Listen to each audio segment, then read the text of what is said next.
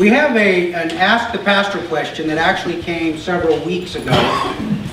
And I spent a little bit more time on this than usual because the question deals with a couple of passages that even by some of the greats in our faith are one of the several of the more difficult passages to understand in the New Testament. So if you have your Bible, open to 1 Peter chapter 3. I'm going to kind of give you the, the verses and then I'll read the question for you.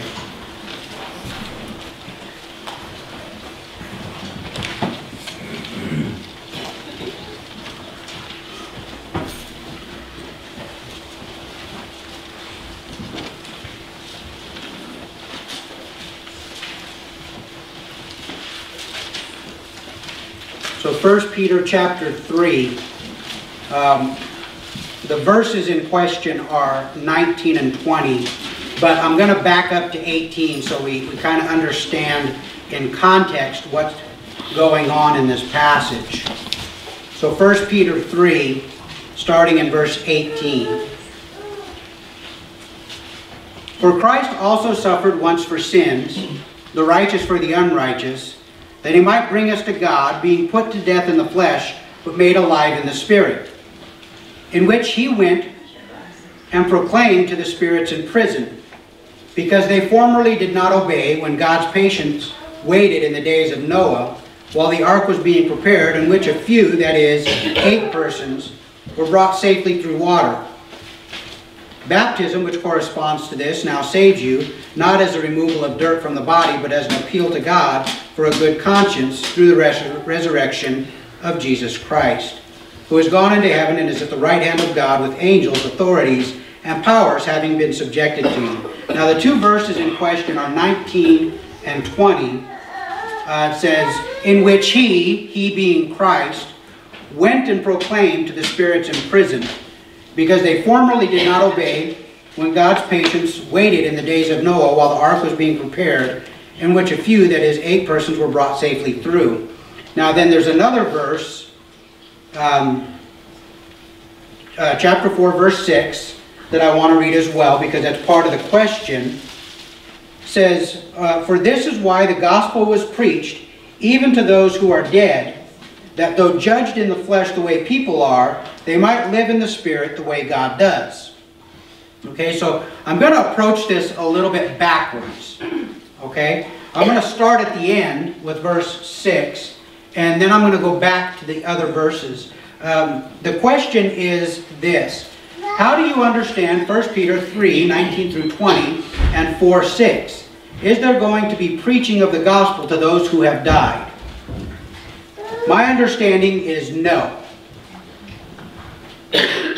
And I'll tell you why.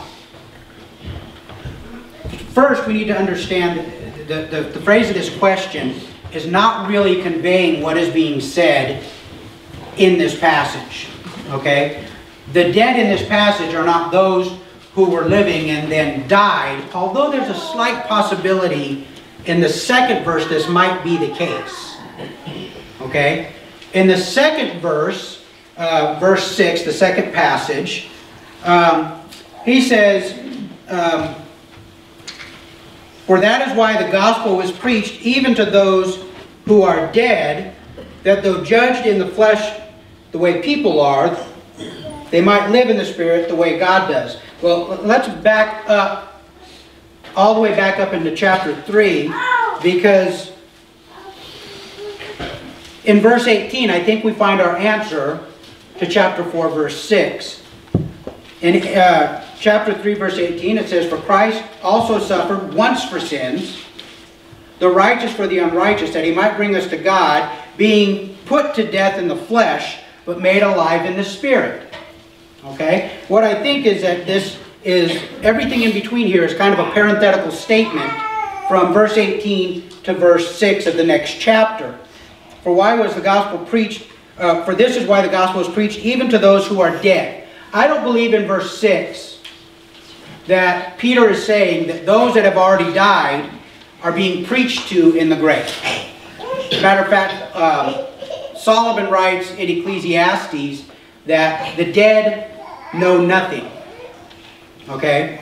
They, they, they don't have an understanding of anything. They're in a state where they don't really, they're not being taught. Okay? Because at that point, all the options that they've been given have been met and they're in one of two places. Okay? So when he says, uh, for this is why the gospel is preached even to those who are dead, I think he's saying that those who are dead are, are dead in Christ. Those who have not yet been made alive by faith in the grace of the cross. Okay? So when he says, for this is why the gospel is preached even to those who are dead, that's who the gospel is for. The gospel isn't for those who are alive. The gospel is what made them alive.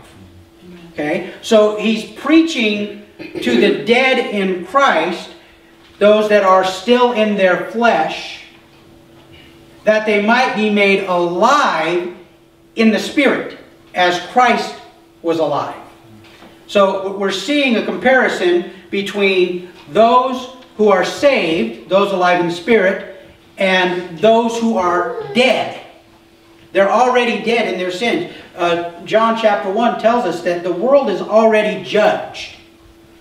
That without faith, we don't need to judge them because God already has. Okay? So the only out from that death is the cross. So I don't believe verse 6 really ties back into 19 and 20, except that it's the same flow of thought, and yet he's inserting this, this kind of parenthetical statement right in the middle here. And this is where we come into um, a, a little bit of concern. Because verses 19 and 20 in 1 Peter are the foundation for purgatory in the Catholic faith. Faith. And I don't believe that there is a purgatory. I believe that once you have died, Scripture says that it is given to man once to die and then the judgment. Okay, so I don't think after you die you get another chance. All Scripture is interpreted in light of all Scripture. Scripture does not contradict itself. So when you have something that is an apparent contradiction, you look at the flow of Scripture and figure out which passage you're misunderstanding.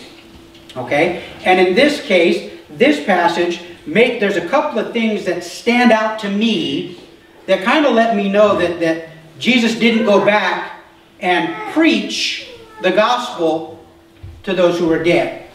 And it's all based on words that are present and words that are not present. Okay? So in verse 19, it says, In which he went and proclaimed to the spirits in prison. Now first, when it says he went, the idea of went is not that he physically got up and moved to a new location. It's that he did what he did. Okay? There's oftentimes it says that God went and spoke. It doesn't mean God removed himself from wherever he was to go somewhere else. He's already there. God exists everywhere at the same time. Where can we go to flee the Spirit of God. If I ascend to the mountaintops, He is there. Even if I go down to the depths of Sheol, there He is.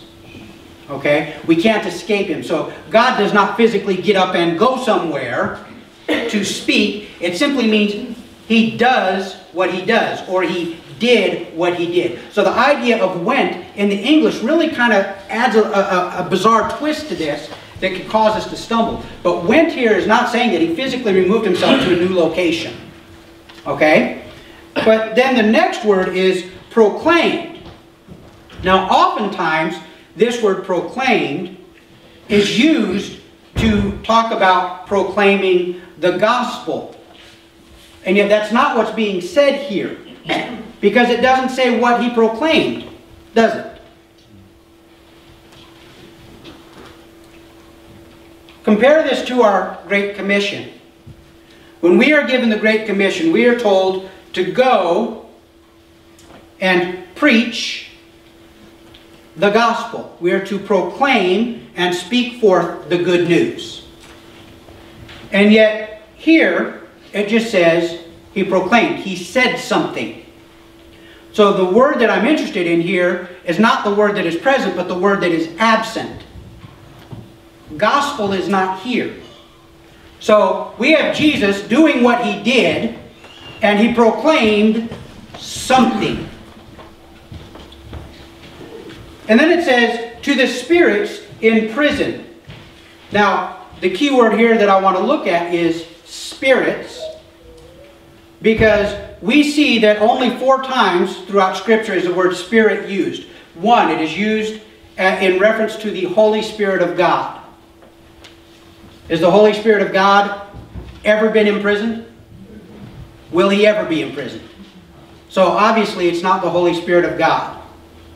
It speaks of the angelic host as being spirits. The angelic host, are they in prison? Will they ever be in prison? Well, we don't think so, not unless they would stumble. But at this point, they're not in prison, so that eliminates them. Well, then it talks about man, and it talks about man having a spirit. Is man in prison? Well, you know, one of the lines of thinking is that um, he's going back and he says, uh, in God's patience, uh, God, when God's patience waited in the days of Noah while the ark was being prepared, in which a few, that is eight persons, were brought safely through the water. Some people interpret this to go, oh, these were the people that were alive back before the flood, and they've been imprisoned because of their sin. Well, the problem is, I can find nowhere in Scripture that it talks about man as spirit. It talks about man as having a spirit. It says the spirit of man or man's spirit. It doesn't talk about him as just being a spirit being. So the word that, that is missing here for me that is significant is man. So we have spirits. There's only one other category left of spirits that we see throughout Scripture. It's not the Holy Spirit. It's not the angelic host. It doesn't say that it's man's spirit. So what does that leave us? The demonic hosts. The spiritual beings. Now, this is where things get a little bit shaky, that I'm not as convinced, but I believe I'm onto something. Because we go down a little bit further, so if it can't be the Holy Spirit, it can't be the angelic host, it is not the spirit of man. If it's the demonic host, then we have to interpret this next passage in light of that. Because they, who's they, the demonic spirits, formerly did not obey when God's patience waited in the days of Noah, while the ark was being prepared, in which a few, that is, eight persons, were brought safely through water. Okay? So if it's not people, it's the demonic spirits. Now we know in Genesis, at, at about this time, it says that the sons of God came down and they mated with the, the daughters of men and they gave forth the race of the Anakim and the Rephidim, the giants. Okay? Now, my thinking, and I, I am very willing to be wrong on this, but my thinking is, this is the only time that we see the demonic host active, prior to the flood. And for whatever reason, what they did caused God to take that set of the demonic host and put them in prison. Okay? So, we know that there are demons that are out there that are working. Jesus confronted them throughout his ministry. The apostles confronted them throughout their ministry. You've probably run into them in your life. You may not have known it, but you probably bumped them. That's true. You should. So I'm going to work backwards through this passage again. If this is the demonic host that God has put in prison, what is it that Jesus proclaimed to them? It's not the gospel because they can't be saved. So what did he proclaim? I think he proclaimed his victory.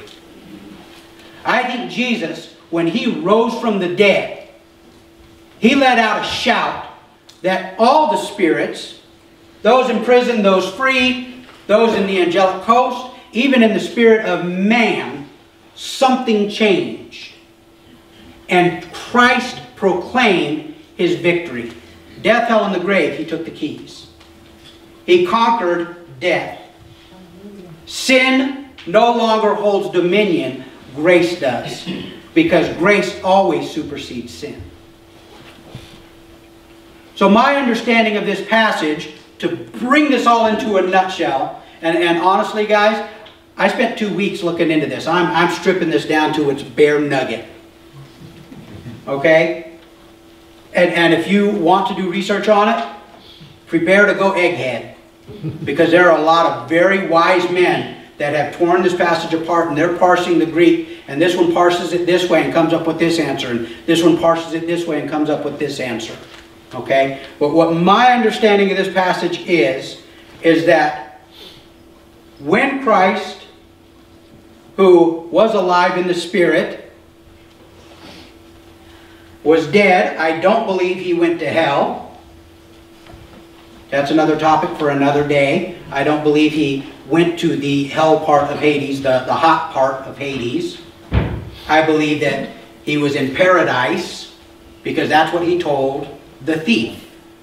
Today you will be with me in paradise. Okay? And then he proclaimed to those spirits that were in prison, hey look, I won. You lost. All those plans that you had that you thought were going to come to victory, they failed. I win. That's as simple as I can make it. Going down to verse 6, I don't think verse 6 is a reference back to 19 and 20. I believe 6 talks about those who are dead in Christ, those who have no life.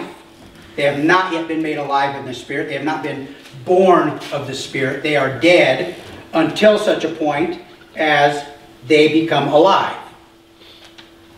So, David, four pages of notes for you. All right, if you have your Bibles, open up to John chapter 10.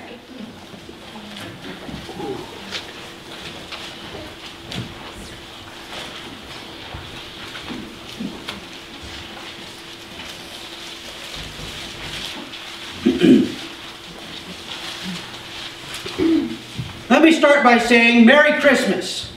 Merry Christmas. Merry Christmas. Happy holidays. I have no problem with people saying happy holidays. They think they're shorting us by going, oh, we're avoiding Christ. Do you know anything more holy than Christ? Do you know any celebration other than Easter or Resurrection Sunday and Good Friday that is more worthy of celebrating than his birth? I don't. So I'm okay with them saying happy holidays. I think it's a holy day. Amen. I think it should be. Okay? So I have no problem with this. Um, in John chapter 10, verse 22, there's this one verse, I want to kind of focus on this. Uh, every Christmas I do a history lesson. Today's our history lesson. So we're going to start in verse 22, and it says, At that time the Feast of Dedication took place at Jerusalem. It was winter, and Jesus was walking in the temple in the colonnade of Solomon. So, verse 22, does anybody know what the Feast of Dedication is? Dennis. Hanukkah, the Festival of Lights, the Feast of Dedication. It's called the Feast of Dedication because, I'll get to that in a minute, because we have a lot of history that we have to cover before we get to the Feast of Dedication. So we're going to go back, way back. Nope, we went that far back last time. Actually, we're going to go back to about uh, Ezra, Nehemiah, that era. We know that Israel had fallen, been taken into captivity by Assyria. We know that Judah had fallen, was taken into captivity by Babylon. But we know that they came back. God took them out of the promised land Matter of fact, he took them out for a very specific number of years. It was a number of years equivalent to the number of Sabbath years that they forsook. So we know that it was 70. It actually was about 72, and it depends when you look and when they came back. But God required of them a Sabbath rest for the land. So they worked the land for six years, and then on the seventh they were required to give it rest. And God would provide enough for them in the sixth year that they would survive not only the sixth year, not only the seventh year, but the eighth year unto harvest. Okay? Now, one of the ways that the Jews worked around this was they wouldn't work the land themselves, they'd rent it out. And they'd let other people work the land for them. Because we know that God said that when I required of you the Sabbath rest and you denied the land its rest, I am requiring it of you. And so he kicked them out for the required number of years.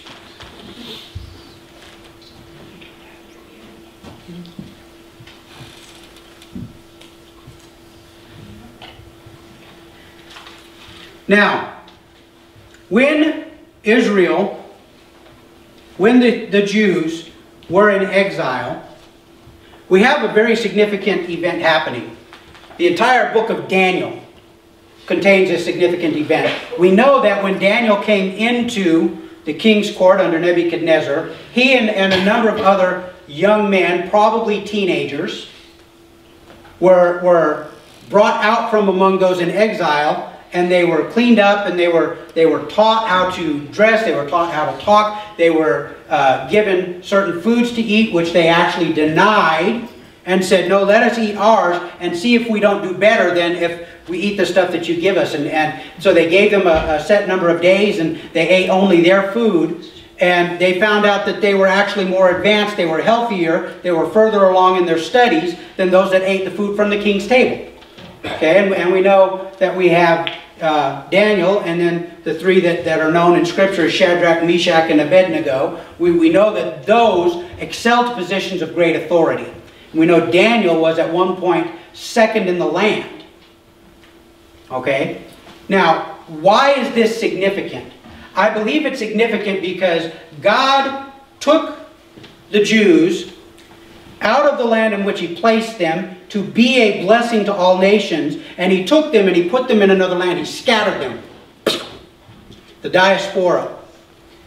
The word, the Hebrew Bible, all of a sudden, instead of being focused just in that little tiny piece of land that is Israel, was spread all over in Asia and the Middle East, up into Eastern Europe, down even into Africa, all of a sudden the word has gone out. We see the same thing happening in the book of Acts.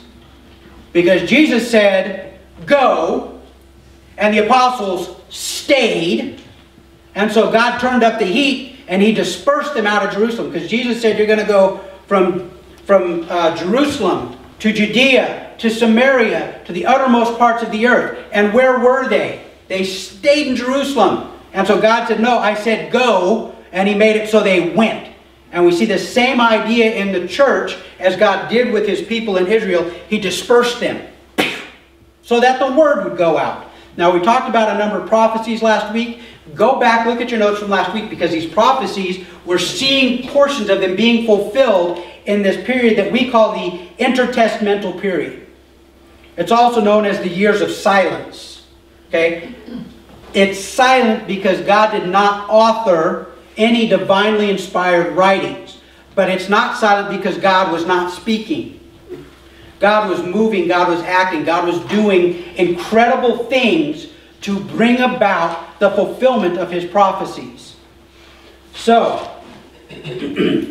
why is it significant? Uh, Daniel and, and, and uh, Shadrach, Meshach, and Abednego, why? Because they brought the prophecies, they brought the Hebrew Bible and when they were sent home, the writing stayed in the east. Now keep in mind that Babylon, the Chaldean Empire, stretched from parts of India and it came all the way over into Greece. Okay? Came all the way down into Egypt. So we know that the, the the word was spread throughout that. And, and we see, as we get into the Christmas story, where did the wise men come from? The east. How would they know to come? How would they know to follow the star? I think that uh, Daniel left stuff for them. He left pointers. The prophecies were there. The things were there. And they had the teaching of God from the exile so that they would know God was setting things in place. so now let's get into a little bit of this uh, after the exile. They come home. Matter of fact, I'm, going to back up because this is one of those things that, you know, people all the time say, oh, well, you know, the, the, the prophecies, you can kind of mold and bend them to say what you want. But Isaiah prophesied that a, a leader was going to be raised up in Babylon. And this leader's name was going to be Cyrus. And Cyrus was going to be the king that would set Israel free to go back to the promised land. Now, this was done well over 100 years before the exile even happened. So we have 170 plus years that this man named Cyrus was prophesied about. And guess what? Cyrus rose up to power. The wise men from Israel that were in Babylon at the time, and, and actually at this point it's the Medo-Persian Empire, they come to him and say, hey, you're in our book. Look at this. That's you right here. And guess what it says you're going to do? You're going to let us go. And what did he do? He not only let them go, but he took up their cause and defended them. So, Israel goes back to the promised land. This is significant because Scripture says that the, the Christ child, the Messiah, Mashiach, was going to be born in Bethlehem. We talked about that last week. If they're scattered all over the world, how can he be born in Bethlehem? God had to bring them back. Okay? That the, prom the prophecies and the promises would be fulfilled. They had to come back. God was not surprised by any of this. When God sent them out into exile, he didn't just wake up on the wrong side of the bed one morning and go out in a hissy fit and said, you know what, I'm tired of you all. that would be me, not God. Okay? That would be you, not God. God had everything carefully planned. He knew what was going to happen. He's the master chess player. He knows what's going on. He's already moves and moves and moves ahead of you. All right? So, Jews are free to return approximately uh, 538 BC. Um, Josephus writes in his uh, Antiquity of the Jews that the Jews actually showed Cyrus his name in the scriptures, and that was part of the, the cause that um, he sent them back. But now, at the same time as, as the Medo-Persians are, are being a power in the east, we see this new power growing in the west. And it starts off with a man named Philip of Macedon. Um, he was a king in Macedonia. And his, his goal, his drive was to unite all the Macedonians in the Greek city-states under one king. Okay? He was assassinated. He failed in his mission, but he, he left a descendant who was going to do that and more in his son Alexander, who we know as Alexander the Great. Now, Alexander spreads out from Greece. He comes around through um, Byzantine. Uh, well, at that point, yeah, it'd be Byzantine. He comes down uh, through Turkey. He comes in. He, he, he takes over Israel simply by showing up. They had just become a new nation. They hadn't been established by the, as themselves for long. They see his massive army coming in. They walk out and they say, hey, we want to be friends. Okay? Now, one of the things that Alexander did that was genius, but not because of his own, I believe it's genius because God did it, was he did he had a program called Hellenization where he introduced all of the countries that he went to to the idea, the understanding of Greek thinking, Western thinking. This is this is the, how we think. We think in a Western Greek type of manner. We don't think Eastern. And as he comes through this process of Hellenization, he lead, the people that he conquers, whether by force or by just immediate surrender, he grants a great deal of freedom to. The Jews can still worship their God. They just have to acknowledge that Alexander is their leader. That the Jews are allowed to, to live their lives pretty much unencumbered as long as they recognize that the Greeks are their bosses. Okay? So Alexander goes off. He ends up dying of a venereal disease in Babylon. Uh, his kingdom is fractured into four parts, each part going to one of his four leading generals. The only two that really concern us are Ptolemy and uh, Seleucia. And these two empires, the Ptolemy started off down in, in Egypt and theirs was up into Israel and, and the surrounding area. The uh, Sel um, it's not the Seleucids, I'm sorry, that was not the right name. Yeah, it is. Yes, it is. They started out over in uh, Babylon and came up to the, the Ptolemaic Empire. Over a period of time, they fought back and forth. They fought back and forth. The Seleucids actually took over Israel. This is where things started to go south for the Jews. Because the Seleucids were not content with them to just acknowledge the Greeks as their leaders. They wanted them to become Greek. And so we see a period of time where the Jews are suffering under this, this Hellenization. We see a, a leader arise. His name is Antiochus the fourth Epiphanes. Uh, he called himself Epiphanes because he called himself a god. And he wanted to be worshipped as a god. And so he came in. He established a number of laws to break the Jews of their Jewishness. Um,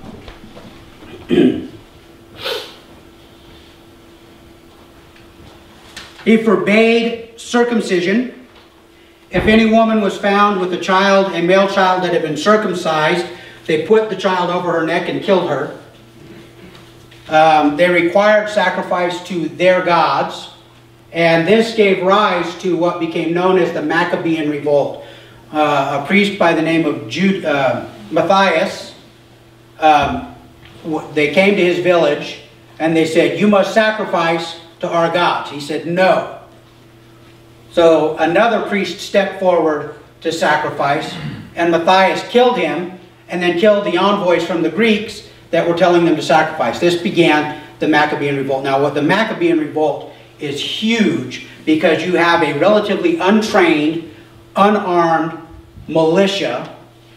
These are guys that are, are more at home tending sheep and raising crops and fishing than they are with a sword and shield. And yet you have them going up against one of the most firmly established armies of the day in the Seleucid Empire. And yet time and time again, the Jews won. Okay? now, one of the things that grew up out of this Hellenization process are the two political religious parties called the Sadducees and the Pharisees. Okay, that grew up out of this time. The Sadducees, they held to the belief that only the written word was to be adhered to. That all the oral traditions, they were not necessary. They were just other people's thinking about the written word. And as such, because they didn't hold to the written word, they, they fell under a lot of the Hellenization. They, they found a lot of agreement with the Greeks. And as such, they became favored by the Greeks, and they were the party that, that rose to power. They're the ones that came into wealth. They're the ones that had the least trouble. Well, there was a group that resisted them that said, no, it, it's not just the writings that we hold, it's the, the, the oral traditions as well. And they became known as the separatists, which the word is Pharisee. Okay? So Pharisee means a separatist. They're the ones that said, no, we're not going to go with you guys. We're separating ourselves out. Which is really funny because some years later we actually have a third party that grows up that are like the separatists of the separatists. And that's the Essenes. They're just separating from everybody. So, so we have this conflict and it comes to a head um, that there are two leaders in, in Israel. They're the two sons of the last woman through whom the high priesthood would come. We have on one side uh, John Hyrcanus, and on the other side we have his brother Aristobulus. John Hyrcanus was backed by the Pharisees. Aristobulus was backed by the Sadducees. Now the Sadducees had the wealth, but they didn't have the numbers. And so when basically the fighting broke out between these two brothers and their religious ideology. Aristobulus took the Sadducees and he went and he tucked himself away in the Temple Mount. Now the Temple Mount was a fortress within the fortress of Jerusalem. And he sent out a call for help. Okay? Now at this point, the Maccabees had overthrown the Greeks, but the Hellenization was still in Jerusalem. The Sadducees were still Hellenized, and, and they're sending out a word for help. And word goes to a Roman general by the name of, of uh, oh, and I just lost his name. Give me a second, I'll find it in my notes. Because his name's important. Um, Pompey. Word goes out from Aristobulus, and he calls for help. They are surrounded at the Temple Mount. The, the Pharisees don't quite have the muscle to break through, but the Sadducees can't get out. So right now, there's no one that can really be a ruler because the high priest is supposed to be in the temple, and, and that's where Aristobulus is, but John Hyrcanus controls all of Jerusalem and all of Judea. So Pompey comes with his legion, and he comes marching into Jerusalem. And he meets, he's coming in, he's coming to deliver Aristobulus. Hey man, this guy called for help, here I am. Well, I think he's looking more politically motivated that he's looking at a country that's in the midst of a civil war, neither side of which is capable of taking him on. So he's thinking, hey man, here's free country for grabs. And this controls the crossroads from Egypt out to the east and up into Europe. Okay? So this is a hugely strategic point for any nation to control. So he's like, hey man, I got to take advantage of this opportunity. So he comes into Jerusalem. He gets to Jerusalem. I think he's, he looked and he realized, wow, man, all the people of Israel are, are pretty much opposed to this guy that's in the temple. So he does what any good thinking general would do. He sides with the side that's going to win. And he switches sides. He, he jumps over to Hyrcanus' side and they breach the temple. Now, when they breach the temple, we have um, the second offense in the temple. Now, under um, Antiochus, he sacrificed a pig on the altar in the temple. Well, when um, Pompey came in to the temple, he broke the walls down, they came in. His men also sacrificed uh, unclean flesh in the temple. That's the second great uh, issue. But, but see, all of that is, is set up. I need to back up to Antiochus because there's something really significant that happened when the Jews overthrew him because they had to come into the temple. He had been sacrificing pigs on their altar. So everything inside the temple is now unclean.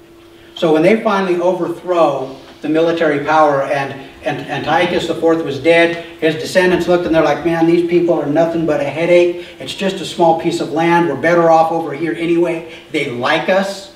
They don't rebel every time we turn around. You know what? You can have the land. We don't want it. But now the Jews come in and they, they come into the temple and it's been desecrated. And it needs to be made clean. Well, in their search through the temple, they find one vessel of oil and this is the oil that is to go to the lamp and the menorah and the holy place that is supposed to never go out. It's sufficient oil for one day. Now, um, Brian, would you go grab me the candle holder in the window there? And the one over there on the uh, credenza?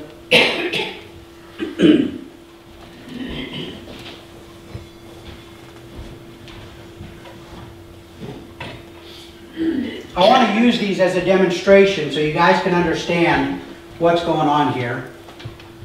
Does anybody know what this is? What is it? Menorah.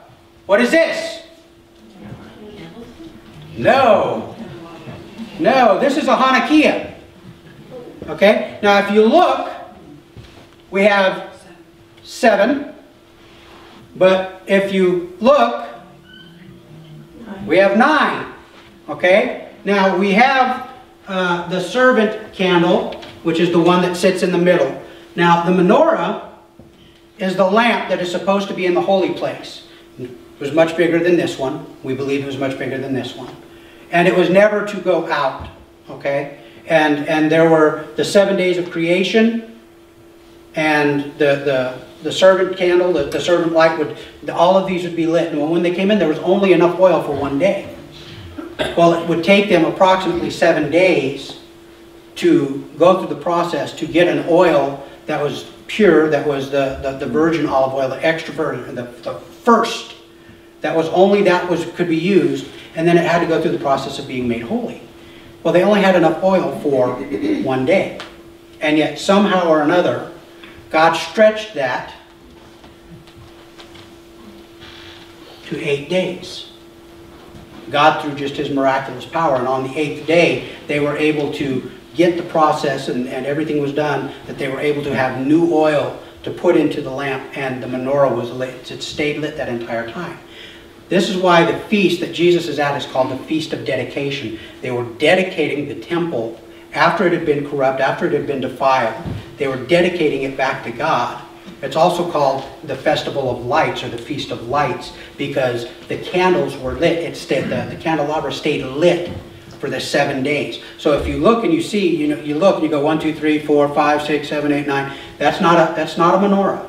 That's a Hanukkiah, and this is for celebration of Hanukkah. Okay? So when we look in John chapter 10, verse 22, it says, Jesus was in Jerusalem. He was there celebrating the Festival of Lights, the, the, the Feast of Dedication. He was celebrating with the Jews that they had overthrown their Greek oppressors and that God had done a miraculous thing in stretching one day's oil into eight days. And that, to me, that is just so cool because it reveals the humanity of Jesus. I mean, he's God. He knew all this stuff happened. He was watching it when it happened. But here he is. That's like us celebrating the 4th of July. If Christ were to be born in America in present day, and it talks about, you know, hey, Jesus went over to the church and they were doing their 4th of July celebration. And there he was, celebrating. That's, that's what that verse reveals to us. That Jesus was celebrating the, the festival of lights, the, the, the freedom, the independence of his country. Now, where, why am I saying all of this? Well, the Romans come in, they establish John Hyrcanus, a period of time goes by, the Hasmonean dynasty dies out, a new man comes up, declares himself to be the leader of the Jews. His name is Herod. Herod has the backing of Rome, but not the people of Israel. Rome makes another appearance. All of a sudden, we have a new king. Yay, his name is Herod. Herod the Great. Okay? Now, why is this significant? Why is it significant that Rome was in power at this time and all of this stuff took place? Why do we even care? We care because it fulfilled prophecy. Because God said that he was going to bless Abraham's seed, and that through him and his house, all the world would be blessed. Okay? Now, God established a number of things by having Rome come in. Okay? And, and there's four things in particular that I want to share with you. The first thing is um, Pax Romana, the peace of Rome. Rome held sway with an iron fist. Now, in some ways, they were very liberal, but in other ways, they were very hard. Man, if you pulled a crime under Rome, the penalties were severe. Okay? They had the vias, the roadways. They stretched from Spain all the way through southern Europe, down around through Israel, down through northern Egypt, all the way back over almost to the Atlantic Ocean. They stretched from the Middle East out as far, even in some places as far as India. Okay, so a person could travel from one end of the empire to the other end of the empire on safeguarded patrolled roads. Now that's important because up to this point, when you cross from one country to another, you were taking a gamble as to whether or not they were going to accept you. Okay, but now this is all controlled by Rome, and so you were safe because the peace of Rome. There were guards that would protect you, and there was a way to get from point A to point B. So that's the first two points. The third point, a common language. Now what's interesting is the official language of Rome was Latin, but the common language was Greek. And it was the, the universal language. And again, you could go from Spain all the way out to India, all the way down into Africa, and you could speak one language and have a good chance of being understood anywhere in those places. Okay? Somebody there was going to be able to understand you and get you what you needed. All right? Number four, this is something that is kind of weird because Rome was a polytheistic society. They believed in many gods. But Rome also embraced a lot of the cultures that were around them. That was one of the things that made them so great, is they would come in, they would beat this country militarily, and then they'd sit and they'd look at their society and they'd take the things that worked and discard the things that didn't. And so Rome, they were not opposed to a monotheistic ideology or, or theology. That was okay so long as it didn't conflict with your understanding that we are the boss.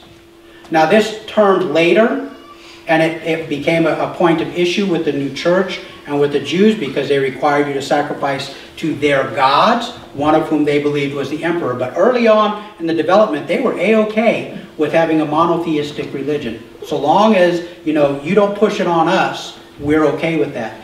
All of these are significant because when the church is birthed in the upper room, when the Holy Spirit falls, and Jesus has ascended, he's given them their commission, and they go out. They can now go out to points from the Atlantic Ocean all the way over to India. They can go from points uh, in northern Africa all the way up into northern Europe. And they can do it with safety because the roads are protected. They can get there because there are roads. They can go and they can speak a common language and be understood in any one of those areas that they went. So the gospel was unimpeded. And this idea of, of monotheism, that there is one God, while it might be looked at a little askance, it was not something that would cause an outright overthrow. Not until later years in the Roman Empire did that become a problem. So this is all significant because God was putting everything, every piece carefully into play. Now, we play chess quite a bit at our house. There are certain people that I don't like to play against because they're always two or three steps ahead of me. And I hate moving a piece and I'm thinking, aha! And then I realize, oh no! Because I just walked right into their trap and now I'm on the defense the rest of the game. It's only a matter of turns before I lose. God was moving the pieces into place so that when his son was born, the hope that he had promised Abraham thousands of years before would be able to be spread thousands of years hence.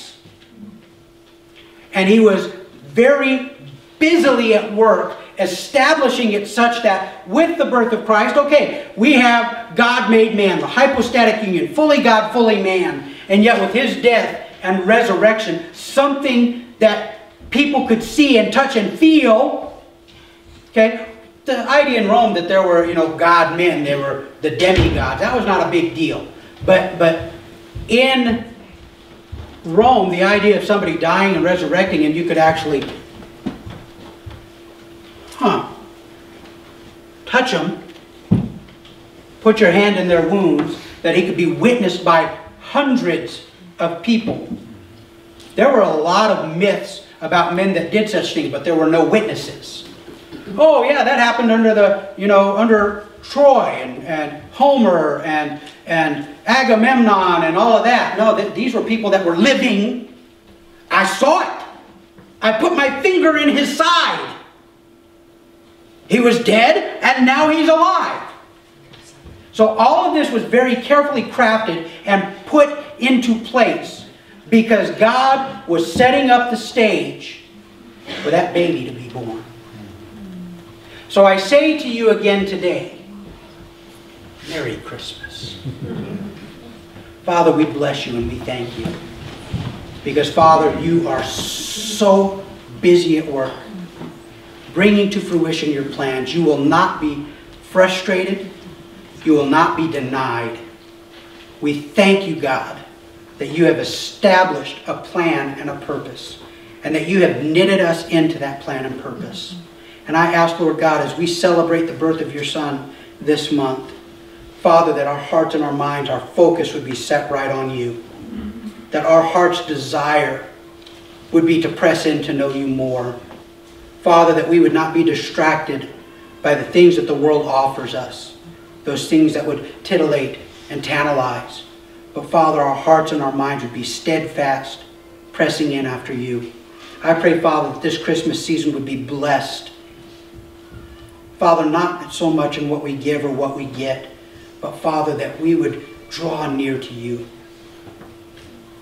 that we would know you better this season than we have previously.